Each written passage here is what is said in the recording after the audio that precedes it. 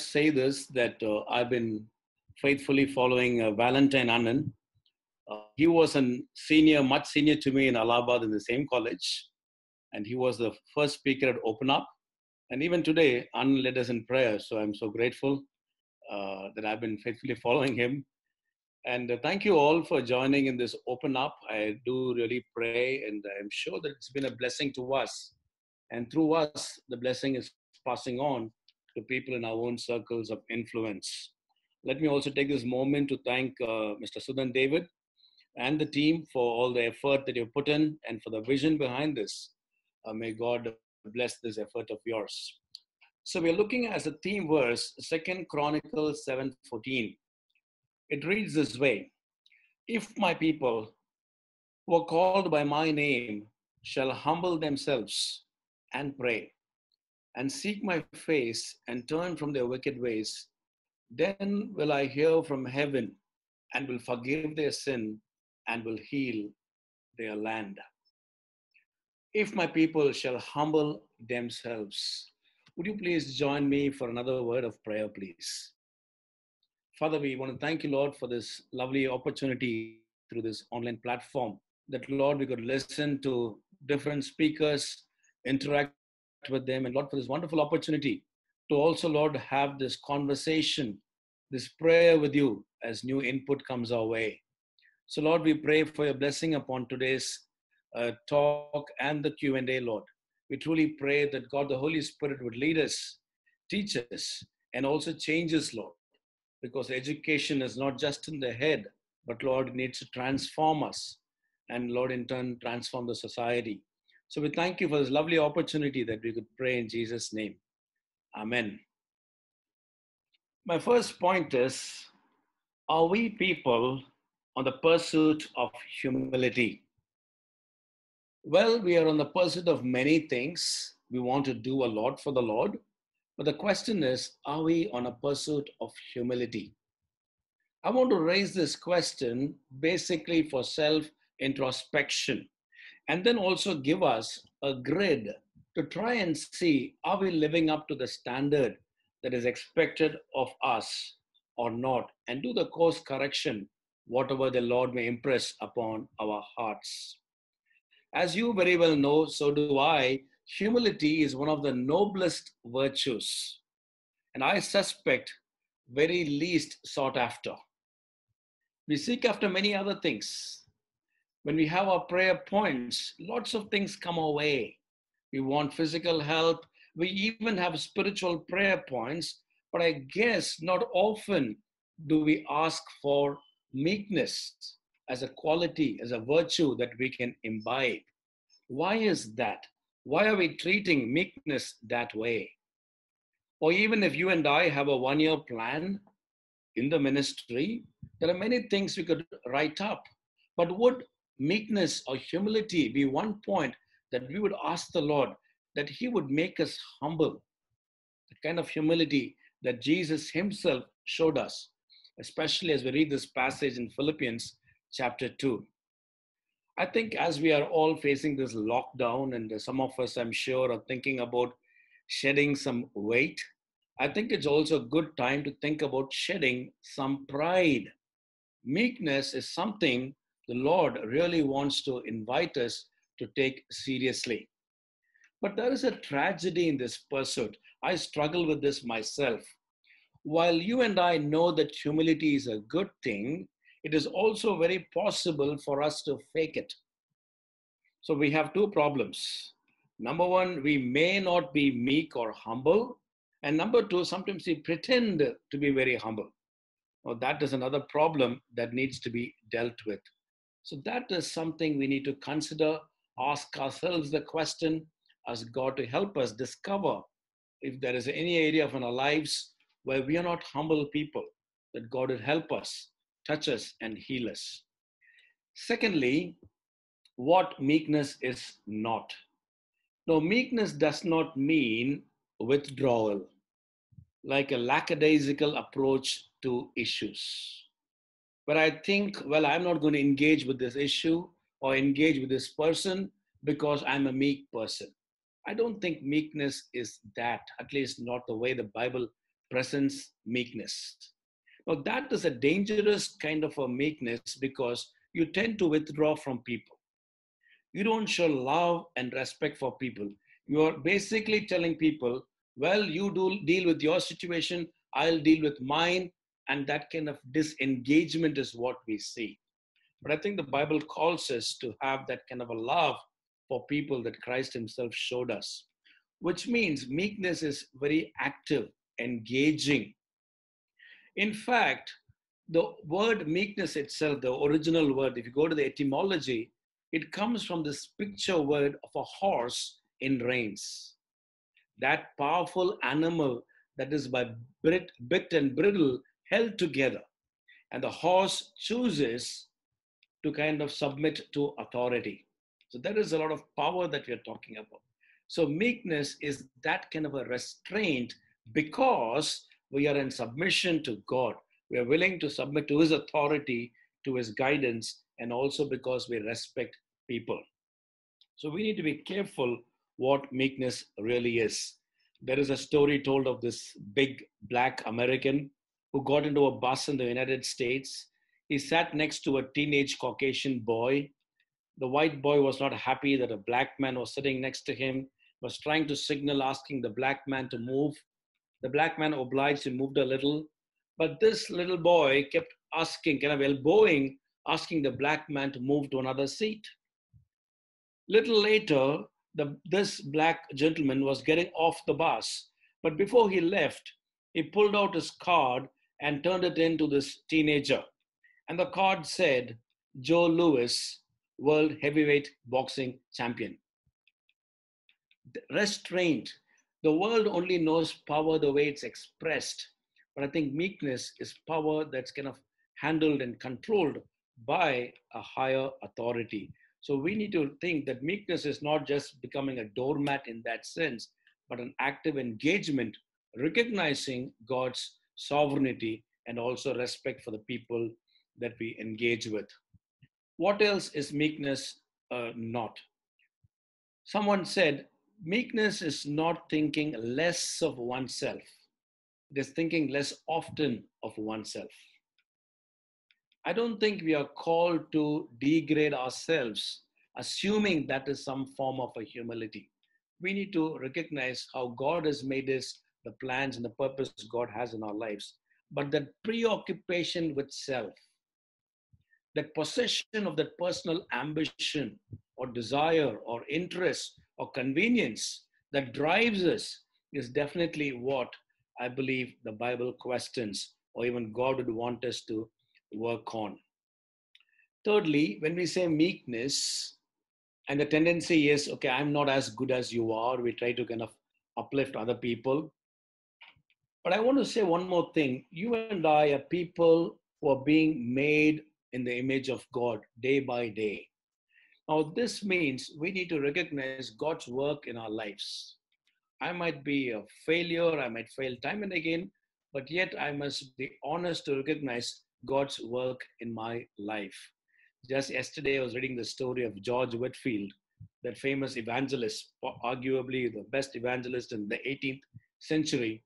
Now, he had a number of things to his disadvantage. He came from a very poor background, he lost his father early, he had to work hard, but this guy kept at it. And eventually, he graduated from the Cambridge University. But how was he able to make it? because he worked as a servitor. He was helping out the other wealthy students by carrying out chores for them. Thereby, he could pay his own fees. So, nothing was really in his favor except that God's hand was upon him. And eventually, he made such an impact, not just in England, but also in North America. So, when you think about humility, I think as Christians, as God's people, we are called to recognize God's continual work in our lives and recognize that and not undermine God's work in our lives. What else meekness is not? Now, I realize in our culture, we talk a lot about servant leadership. Uh, it feels like somehow we are willing to talk about servant nature or servanthood, about humility, but still we want this other word attached to it leadership. Why not just talk about servant nature?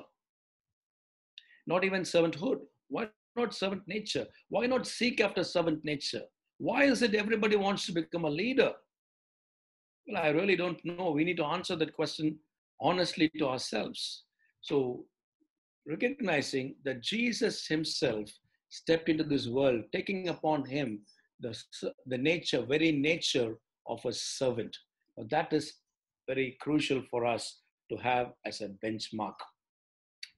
So, thirdly, first we saw uh, the pursuit of humility.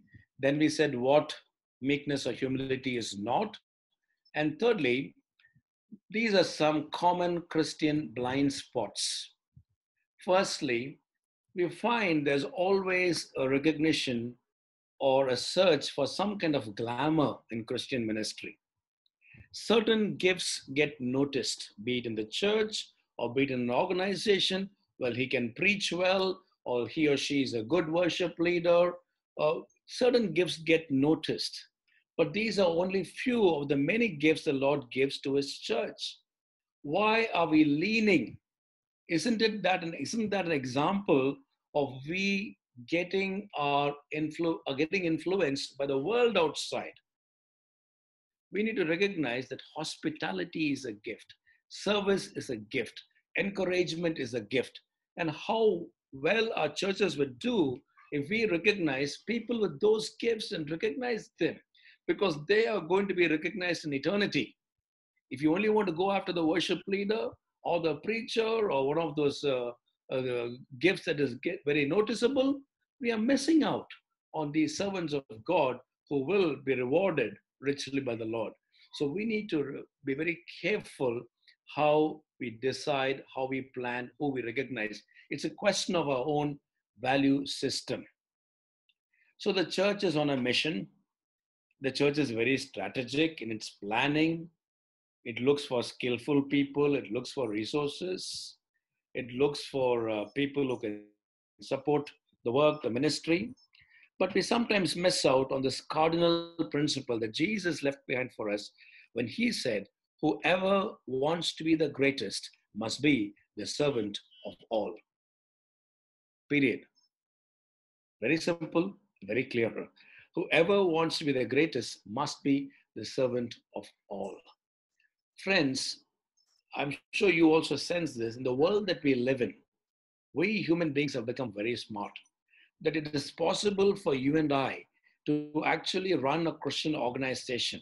And may I say this cautiously, even a church without help from God, because we can draw up a neat plan, we can develop the strategy, identify a support, donor support. We can do a lot of these things on our own. But we need to remember unless we walk in step with the Lord, we are not doing His ministry. We need to constantly depend on God. So, meekness and humility becomes very crucial for a Christian worker, for a child of God. Imagine having a kid in your home who is very talented, but who's not humble. And the parents can testify how hard that might be to kind of bring up this child. So it's very important to practice humility and meekness because we have a great God. And I think that itself needs to keep us in place. Secondly, another blind spot that I see within churches in our Christian communities, there's a seeking after the gifts of the Spirit over against ignoring the fruit of the Spirit. Now we need to remember that Galatians 5 22 and 23, which talks about the fruit of the Spirit, especially in verse 23, it begins with the word meekness in the King James Version. Other versions have gentleness. So meekness is a fruit of the Spirit. In fact, the whole fruit of the Spirit, uh, which includes love, joy, peace, patience, uh, kindness, goodness, faithfulness, gentleness, or meekness, and self control, if you follow carefully, all of them have this component of meekness. What is peace? What is forbearance? What is kindness? What is faithfulness? So, meekness is there, very central in the fruit of the Spirit. And those of us, as we desire to grow more and more into the likeness of the Lord, may I also say this in the Bible, nobody is appreciated. No character in the Bible is appreciated for the gifts they possess. They are appreciated by God for the character they show, which means God can give gifts to anybody, even a donkey can speak. But character is what becomes important for God. So we see how meekness becomes such an important cornerstone in our walk with the Lord. Uh, thirdly, another, uh, I think I mentioned this already, a blind spot, servant leadership over against servant nature. So let's move on. The fourth question I want to raise is Is there another way? Outside of meekness, outside of that humility, that gentleness, is there another way? No, my dear friends. Jesus said, Blessed are the meek, for they shall inherit the earth. In all likelihood, it's a reference to Psalm 37, because the Psalm uh, psalmist there talks about this. He talks about the successes of the people in the world and is concerned about it, about the wicked prospering. And this verse is taken right out of that. Uh, Blessed are the meek, for they shall inherit the earth. That's what our Lord said. And the Bible is very categorical about this. Contrary to what the world says, the rich and the famous, the high and the mighty, the bold and the beautiful, the strong and the powerful, Jesus said, the meek shall inherit the earth. Please follow the words of the famed British journalist Malcolm Muggeridge, who also worked in Lucknow in India. I'm happy to share these notes with you. Uh, maybe in a day or two, I'll put it in a PDF and forward it to Mega. But this is what Malcolm Muggeridge said. Keep this verse in the back of your heads. But Jesus said, The meek shall inherit the earth. And Muggeridge said this we look back on history and what do we see? Revolutions and counter revolutions. Wealth accumulated, wealth dispersed. One nation dominant and then another. Shakespeare speaks of the rise and fall of the great ones that ebb and flow with the moon. In my own lifetime, says Muggeridge, I have seen my fellow countrymen ruling over a quarter of the world and a great many of them convinced in what was still a favorite song that God who made the mighty would make them mightier yet. I've heard a cracked, cracked Austrian proclaim to the world the establishment of a German Reich that would last for a thousand years. An Italian clown announced to the world that he would restart the calendar with his own assumption of power. A murderous Georgian brigand in the, brigand in the Kremlin, acclaimed by the intellectual elite in the West as one wiser than Solomon, more humane than Marcus Aurelius. I have seen America wealthier in terms of weaponry, far more powerful than the rest of the world put together. So, had the Americans so wished, they could have outdone a Caesar or an Alexander in the range and scale of their conquests. And says Muggeridge, all in just one lifetime, all gone with the wind. Hitler, Mussolini, dead and remembered only in infamy. Stalin, a forbidden name in the regime he helped founded, which had dominated for three decades. America, haunted by fears of running out of precious fluid that keeps the motorways roaring and the smog settling with the troubled memories of a disastrous campaign in Vietnam and the windmills of Watergate. And Ravi Zacharias adds his line to this quotation Behind the debris of these civilizations, stands the gigantic figure of Jesus Christ, in whom and through whom all humanity finds meaning and purpose. Blessed are the meek, for they will inherit the earth. Most of you are from Tamil Nadu, and you might appreciate this example better. A former CM who seemed invincible in her days, and one could actually not imagine this state in her absence. But in a matter of weeks and months, her health deteriorated and she's gone. And today I find it hard to believe that this state goes on and we seemed to have forgotten her. Hardly much reference to her anymore. The Bible says, the meek will inherit the earth.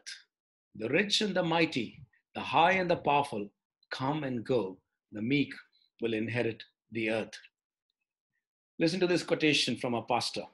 if you were a Martian, if you came from planet Mars, living in the first century, would you think Christianity or the mighty Roman Empire with all its glory, which one would survive, the Roman Empire or Christianity? Of course, you wouldn't bet your money on a ragtag group of people that a crucified carpenter from an obscure village had triumphed over the grave.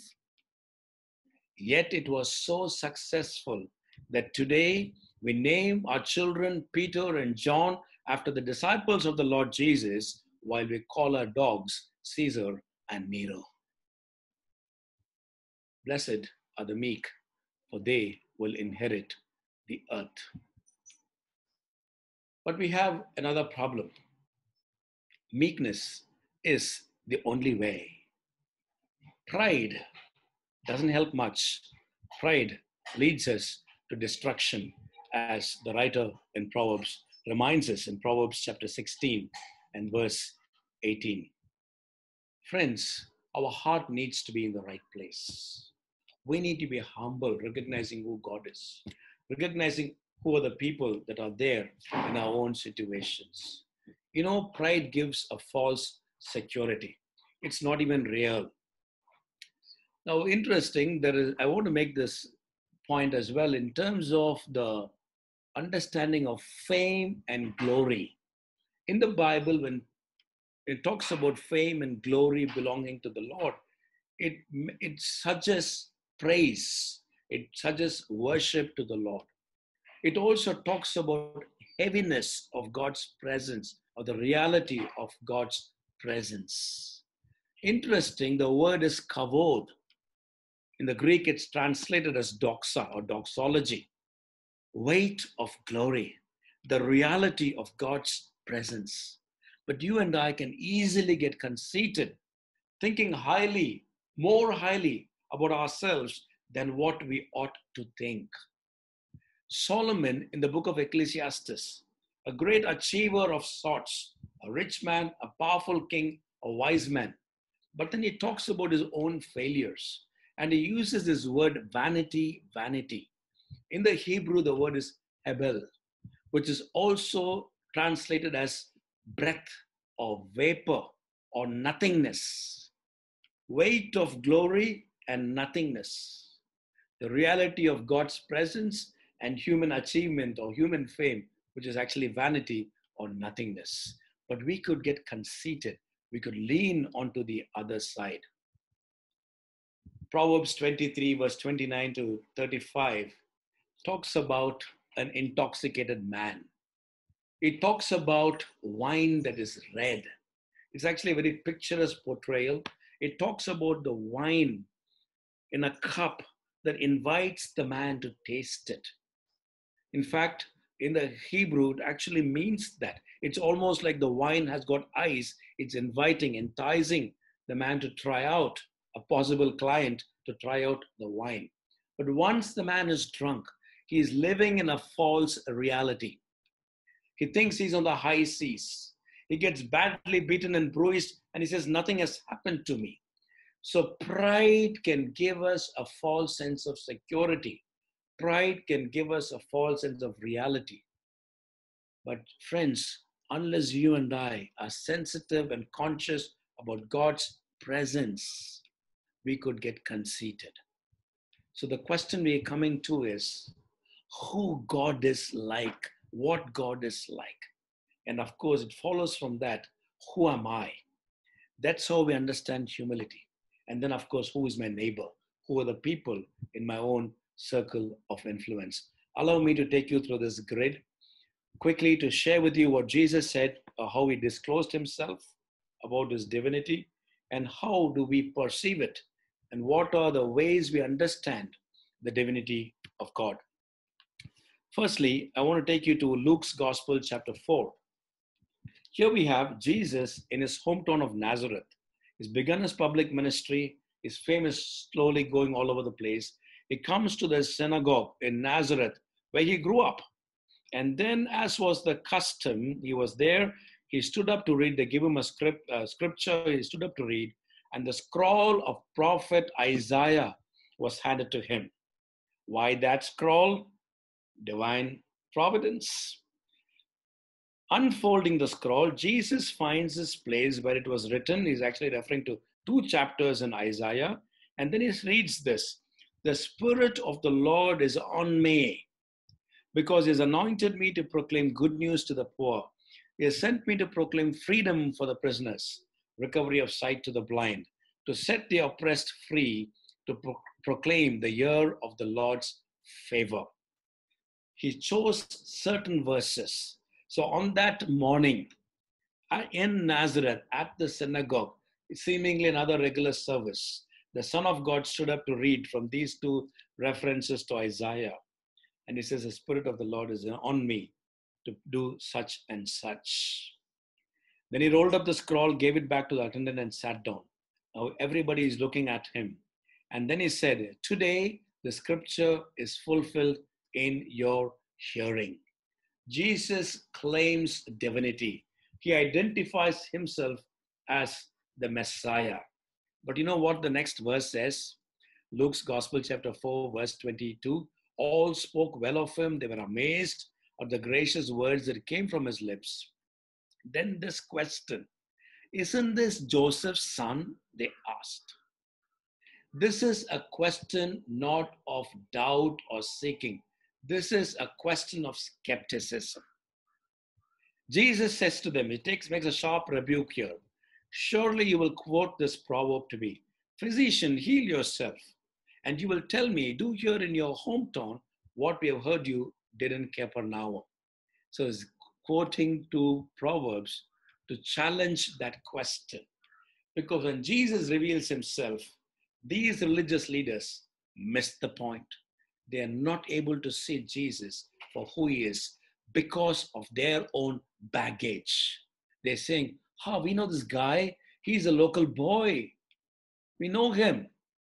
They're missing out on what they do not know about this person, that he was the very Son of God. You may want to read that whole passage because Jesus is sharply critiquing their methodology of coming to recognition of who Jesus was. But I'm going to jump here to the next paragraph. He goes down to the town in Capernaum. And in that synagogue, Jesus is healing a man possessed by a demon. And an impure spirit comes out of him, saying in the top of his voice, Go away. What do you want with us, Jesus of Nazareth? Have you come to destroy us, the Holy One of God?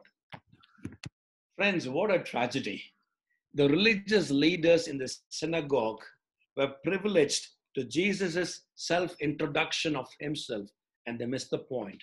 While the demons that were fleeing at his presence recognized that he was the Holy One of God. Sometimes it's because of the baggage with which we come to the table. That baggage colors what we see. It's almost like wearing the wrong set of glasses and viewing right data. What you see will be colored by how you see it. So they miss the point. And then we find that's not the only place where the demons recognize his divinity. We find this time and again in different places. But Jesus revealed himself as a son of God who was going to be the Messiah of the world. But here's my point who are we? Very quickly, A, B, C, D fact check. Are we conceited or do we recognize who we are in the light of God's word and his presence? Firstly, we are called to be authentic and not artificial. Now, artificial was a good word once upon a time. I think in the 16th century, the word artificial actually had to was related to art, how you can portray something so beautifully, creative skill. But today, when you say artificial, you know somebody is putting on a facade. They're wearing a mask. They are not who they really are showing them to be. In other words, what the photographs you put on Instagram or Facebook, we put the best photographs, not the real photographs all the time, right? Sometimes it's incredible. You want to shoot photograph after photograph to get just the way what we want to project ourselves as. Authenticity in our lives. Who are you in the light of God's word? Now, Jesus had this amazing word to say about John the Baptist. Matthew's Gospel, chapter 11. Here, the context is John is in the prison and now he's getting a little confused. So he's sending his disciples to Jesus, asking, Are you the one, or should we wait for somebody else? I believe this is not a question of skepticism, it's a question that seeks. There's a huge difference between somebody who's a skeptic and somebody who is a seeker. A seeker asks questions because they want more knowledge, they're open to input. A skeptic has decided in his or her mind there are no answers. So they're or, for, forever sitting on the station of doubt. They don't move out of that station. But John is sending his disciples to Jesus and they ask him, Are you the one who is to come or should we expect somebody else? Jesus says, Go back and report to John what you hear and see. The blind receive sight, the lame walk, those who have leprosy are cleansed. So Jesus is already fulfilling Luke's Gospel, chapter 4. And he's saying, Go and tell people this. And then he made this statement Blessed is anyone who does not stumble on account of me. And as John's disciples were leaving, Jesus turns to the crowd and talks about John. Beautiful testimony about John. I'm sharing this because it's about authenticity. Jesus says, What did you go out into the wilderness to see? A reed swayed by the wind? Is that what he went out to see? If not, what did he go out to see? A man dressed in fine clothes? No, those who wear fine clothes are in king's palaces. Now, what does Jesus really communicating here? It's not about the externals, it's about who you are on the inside. John was a man who was firm and strong in his own conviction. And Jesus said, He was the one of whom it was said, I will send my messenger ahead of you, will prepare your way before you. In fact, Matthew's Gospel, chapter 11, is also a beautiful passage to read, especially if you're struggling in your perception of Jesus. Because here also, Jesus questions or challenges the methodology people use to study Him. The Bible is open to investigation, but then you should be willing to critique your investigation also. Yeah, it's a critique of the critique. That's how we arrive at the truth. But I'm not going into this for want of time. Friends, we are called to be authentic. Now, this means if you and I struggle with pride, we need to admit it. We need to go before the Lord and seek His help actively and proactively. Secondly, belief versus behavior. You generally ask a Christian, a church going Christian, what do you believe in? we will all get the answers right. Or maybe some of us are familiar with the Apostles' Creed, the Nicene Creed, the Statement of Faith.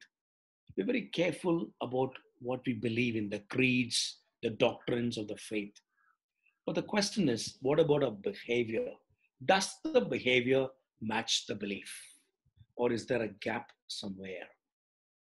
So when you and I claim to believe in this God, when you and I claim to believe in God's word, when you and I believe, claim to believe that we are all made in the image of God, does that show in our life, in our lifestyle? The way, let's say, you relate to the stranger on the road, or somebody else who's economically deprived, or somebody else is struggling in this time of uh, the corona pandemic? Does your doctrine of the imago Dei has anything to do the way you respond to that situation? Or is it just a nice belief you have up there in your head with no connection to your real life? Belief and behavior have to match. You know, the number one sin Jesus spoke harshly against in the Gospels, the sin of being Pharisaical, Pharisaical or hypocritical. Saying the right word, but being very far from matching up to that kind of a belief system church, we are called to check where we stand. That's part of humility. Do we really believe that everybody is made in the image of God? How do we treat them? How do we respect them? How do we care for them? That is important. I can think of a very good friend of mine who's a cancer survivor. In fact, he at one stage he was uh, the doctors declared they said it's very hard and there's no chances, no hope for him. But then he recovered, and then my heart was so I was so appreciative of the person who they are now happily married, this friend of mine and uh, his wife. The person was so willingly came forward to marry him. Now, belief and behavior have to match. I can talk about many examples like that of people who actually took the Imago Dei concept so seriously, their practice in their lives and how they reached out to others. So, firstly, are our lives authentic or is it artificial? Secondly, is there a gap between a belief and a behavior? Thirdly, what about our character and what about a continuity? What am I saying here? To a large extent, our habits are fixed. To a large extent, our lifestyles, our chores are all, we have a packed day, except, of course, in the lockdown, we seem to have free time, we don't know what to do. Otherwise, schedules are tight and packed. The question is is there scope for change? Friends, neuroscience actually tells us today there is scope for change. There was a very famous example from neuroscience in the 19th century about this particular man who had a rail accident. a rod actually went through his part of his brain, and miraculously he survived the accident. And then it was found that his personality significantly altered after the accident. So neuroscientists have come to the conclusion that's one example. There are more to say that change is possible. Now, if neuroscience says change is possible, and the Bible tells us that you and I are transformed into the image of His Son, how much more there is scope. So I don't want you to give up. I don't want to give up. I think we need trust in this God who will, wants to work constantly in us so that our character is not fixed, but there is a continuity. We keep changing. We kind of are becoming more like Christ. We become more humble, more meek like Christ. Fourthly, development or dignity. Where do we get our value from? Is it basically from our degrees, or is it because of your cost to the company, or is it because of a social status, or, what gives you your identity? Not just what gives you your identity, how do you treat other people? Because James talked about it. He said, if you only welcome a man who comes in fine clothes to your party, you're being partial. You, you don't reflect the God who calls you. You're called to respect the stranger and somebody else who is not as privileged as you are. So, where do we place our value for people? How do we treat people? Amartya Sen famously talked about it. He talked about the market value of the masses. Different times in history, different people have had a lot of value. At some time, we needed a lot of doctors, maybe like this time. And there were other times we needed a lot of lawyers. But he talked about the farmers. They need to have a market value. So it's very important where, in fact, I think Amartya Sen on that point is very close to what the Bible is saying.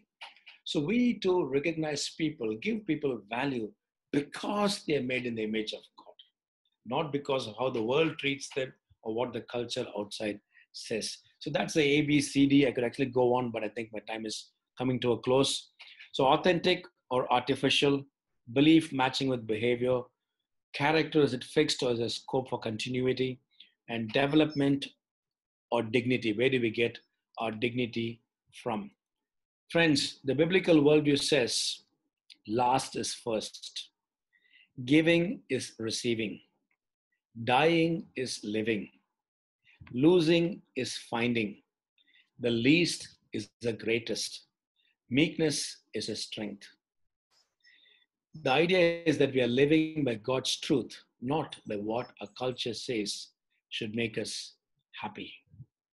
So, may I invite you to grow in meekness, in that humility, because Jesus Himself recognized that and showed us it through His own life in the Gospels as we see it, and how He treated us. I think we are called to respect and treat others in the same way that God treated us.